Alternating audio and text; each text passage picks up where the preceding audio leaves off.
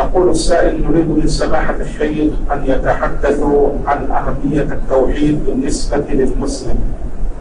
التوحيد هو الأصل الذي يبنى عليه سائر الأعمال.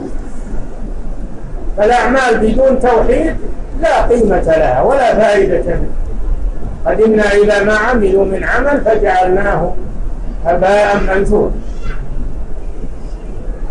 والله جل وعلا قال إن الله لا يغفر أن يشرك به ويغفر ما دون ذلك لمن يشاء.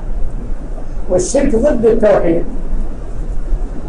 والمشرك لا يقبل منه عمل. ولو أشركوا لحبط عنهم ما كانوا يعملون.